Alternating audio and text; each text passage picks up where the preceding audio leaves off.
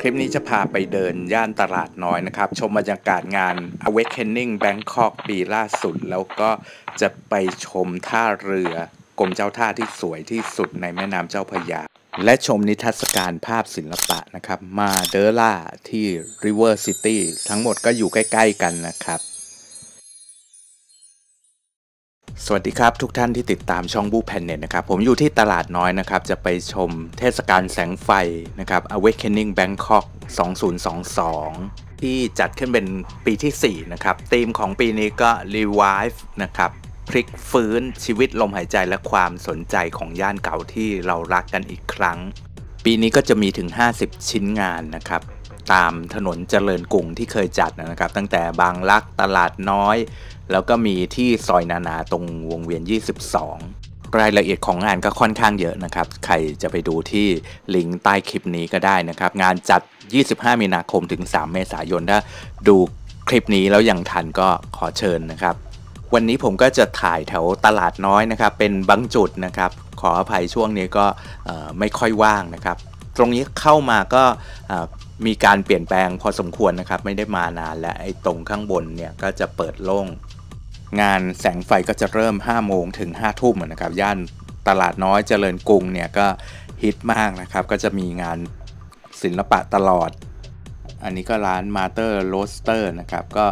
คาเฟ่ที่รีโนเวทลงกึงนะครับ ไปเป็นคาเฟ่สมัยใหม่เดี๋ยวนี้ก็มากมายเลยทีเดียวนะครับ ตรงหัวมุมที่เคยเป็นโรงกึ่งนี่ก็เปลี่ยนไปแล้วนะครับ อาจจะรีโนเวทเป็นน่าจะเป็นคาเฟ่เป็นอะไรสักอย่างนะครับ สามารถเดินไปชมแม่น้ำได้ พอดียังไม่มืดผมก็ถ่ายตรงนั้นตรงนี้ไปก่อนนะครับ ตรงสันเจ้าโลงเกือกเนี่ยก็จะมี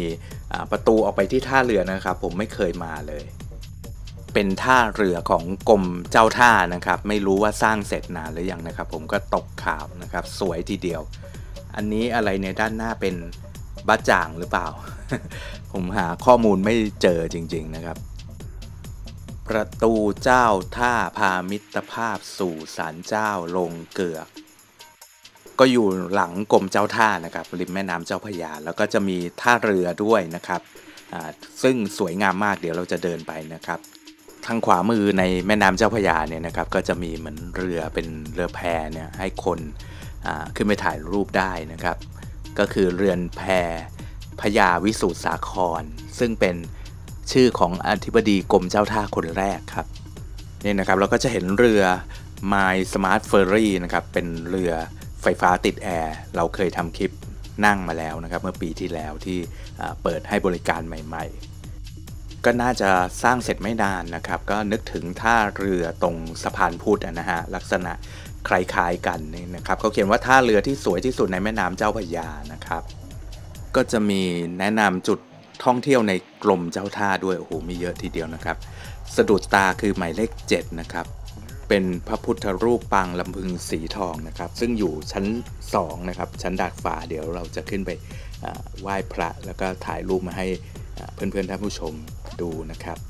ถาปัตยกรรมข้างนอกนี่เป็นแบบตะวันตกนะครับ แต่ว่าตกแต่งภายในเนี่ยแบบไทยนะครับ ก็สวยงามทีเดียวนะครับ ก็จะขึ้นไปก็ต้องเปลี่ยนรองเท้านะครับ แล้วก็เป็นบันไดไม้เดินขึ้นไปด้านบน ตัวอาคารท่าเรือนี่ก็จะออกแบบแล้วก็ทาสีให้เข้ากับอาคารของกรมเจ้าท่าด้านหลังนะครับ ที่เป็นแบบนีโอคลาสสิกนะครับเนี่ยขึ้นมาข้างบนก็จะเห็นมีเป็นเหมือนเรือนกระจกนะครับ แล้วก็พระพุทธรูปก็จะหันหน้าสู่แม่น้ำเจ้าพยานะครับ พระพุทธโลกุตระธรรมประชานาตจะเห็นว่าทรงเครื่องกษัตริย์ด้วยนะครับ แล้วก็พระหัตถ์เนี่ยสวัสดิกะมุทาหรือว่าปางลำพึงนะครับ ก็เป็นปางประจำวันเกิดของคนที่เกิดวันศุกร์นะครับ แล้วก็ที่พระเศียรเนี่ยก็จะมีพระบรมสารีริกธาตุด้วย ด้านข้างก็จะมีรูปปั้นของพระบาทสมเด็จพระจอมเกล้าเจ้าอยู่หัวรัชกาลที่ 4 แล้วก็อีกด้านหนึ่งก็จะเป็น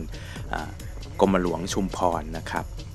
ก็จะเห็นเด่นเป็นสง่านะครับ แล้วก็หันหน้าออกสู่แม่น้ำเจ้าพยา พอฟ้ามืดเราจะกลับไปที่ศาลเจ้าโรงเกือกนะครับ ไปชมงาน Awakening Bangkok นะครับ อันนี้จะเป็นงานที่ชื่อว่ากังวานหรือว่า The Loudest Silence เสียงก้องกังวานจากระฆังบุญก็นำมาซึ่งความสงบได้อย่างน่าฉงน ส่วนใหญ่ก็จะให้เราสามารถเข้าไป interact กับชิ้นงานนะครับ อันนี้เขาบอกว่าตรงกลางมันจะมีคล้ายๆกระถางธูปนะครับ ถ้าเอามือไปลูบมันจะมีผลกับไฟนีออนรอบๆนะครับ มันอาจจะเป็นการ dim อะไรแบบนี้นะครับconcept ของเขา ต่อไปก็จะเป็นที่บ้านริมน้ำนะครับ ก็มักจะใช้ จัดงานเนี่ยทุกปีเลยนะครับ แล้วก็งานอื่นๆอีกด้วยก็จะเป็นเหมือนผับนะครับ แล้วก็มีค็อกเทลแล้วก็เปิดเพลงเพราะนะครับ เพลง House Music หรือว่าอีกหลายสไตล์ผมก็เคยมานั่งหลายหนนะครับ ตรงนี้ก็จะมีงานที่ชื่อว่าน้ำท่วมฟ้าป่ากินดาว ก็จะมี QR code นะครับ ให้สแกนแล้วมันก็จะเป็นเหมือน AR นะครับ จุดต่อไปก็มักจะเป็นไฮไลท์ของงานทุกปีเลยนะครับ ก็จะเป็นเจ้ารถ Fiat นะครับ ถือเป็นจุด check-in landmark ของตลาดน้อยนะครับทุกคนคงจะเคยมาถ่ายรูป มาเซลฟี่มาเช็คอินกันนะครับ ตรงนี้ เช่นกันนะครับ ปีนี้ก็สวยเหมือนเดิมนะครับ จงปลดปล่อยจินตนาการลงบนรถ Fiat ที่จะเป็นผืนผ้าให้คุณ paint what you like รู้สึกว่าลวดลายเนี่ยมันสามารถเปลี่ยนได้แล้วเขาก็จะให้เขียนตัวหนังสือแล้วมันก็จะฉายมาที่ตัวรถเฟียสเนี่ยนะครับ ก็นึกว่าจะไปเขียนชื่อช่องของเราแล้วให้มันส่องมาที่ตัวรถเฟียสแต่ว่าคนเยอะนะครับก็เลยไม่ได้ทำนะครับ ก็ใครดูคลิปนี้ทันแล้วก็ลองไปเล่นกันก็ได้นะครับ งานต่อไปก็จะไปที่ Photo Hostel and Cafe นะครับ ก็ข้างในก็จะมีทั้งชั้น 1 ชั้น2นะครับ จะมีรูปภาพที่เขาเรียกว่าอะไรผมจำไม่ได้แล้วนะครับ มันจะมืดมากเลยทีเดียวนะครับ คือต้องเปิดแฟลชแล้วมันก็จะทำให้เห็นภาพนั้นนะชัดขึ้นเหมือนเราเอาไฟไปส่องนะครับ ก็ถ่ายออกมาก็อาจจะยากลำบากหน่อยนะครับ อันนี้ Violet Victory Monument Democracy นะครับ อันนี้ก็จะจัดโดย Silence Project นะครับ ก็จะมีหลายรูปเลยนะครับ อันนี้ให้ดูอีกรูปหนึ่งก็จะเป็นก๋วยเตี๋ยวหลอดเยาวราชนะครับ ถ้าเราเปิดแฟลชเนี่ยแล้วมันเข้าไปส่องใกล้ๆเนี่ยมันจะชัดขึ้นแบบนี้นะครับ โอเคนะครับ เดี๋ยวเราจะไปชิ้นงานต่อไปนะครับ ก็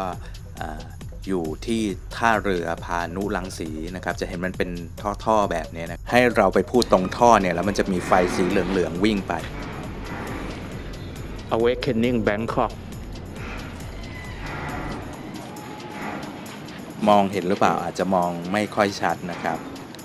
ต่อไปก็ที่ชั้นล่างของคาเฟ่ Mother Roaster นะครับ ที่ข้างล่างเป็นกองอะไหล่กองน็อตนะครับ ก็จะเป็น Cloud Dreaming เป็นงาน Lighting Design นะครับ มีเมฆเหมือนฝนกำลังจะตกหนัก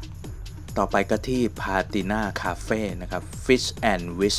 ปล่อยปลาแบบ Interactive สแกน QR Code ผ่านสมาร์ทโฟนแล้วกดปล่อยปลาได้ แล้วมันก็จะโชว์อยู่พักหนึ่ง อันนี้จะคล้ายๆกับ สะพานดอกไม้ที่ปักคลองตลาดหรือเปล่า อันนั้นจะเป็นงาน Bangkok Design Week ที่ผ่านมานะครับ ตอนนี้ก็มืดแล้วตรงที่เราเดินไปตอนแรกเนี่ยก็ไฟที่เป็นแมวเนี่ยจะชัดเจนขึ้นแล้วนะครับ บางคนก็มาถ่ายรูปเล่นกับกระจก ก็อย่างที่บอกนะครับมีมากมายหลายจุดเลยนะครับ เราก็ให้ชมบรรยากาศกันนิดหน่อยนะครับ ผมเดินกลับมาที่ท่าน้ำสี่พระยานะครับ ข้างห้าง River City ก็จะมี a w a r Penning นะครับ เข้าสู่จักรวาลนฤมิตเมตาเวิร์สนะครับจะพาไปที่ห้าง River City นะครับซึ่งมีนิทรรศการศิลปะมากมายเลยทีเดียวนะครับ เลือก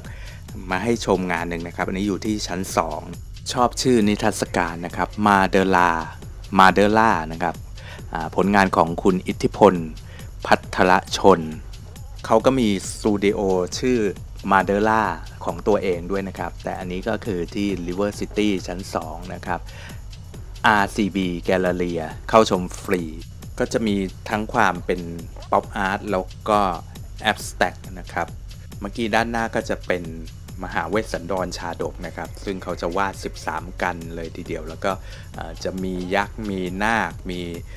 เกี่ยวกับคติไทยนะครับ ศาสนา ก็น่าสนใจทีเดียวนะครับ แล้วก็ใน River City ก็ยังมีหลายนิทรรศการนะครับ ใครมาตลาดน้อย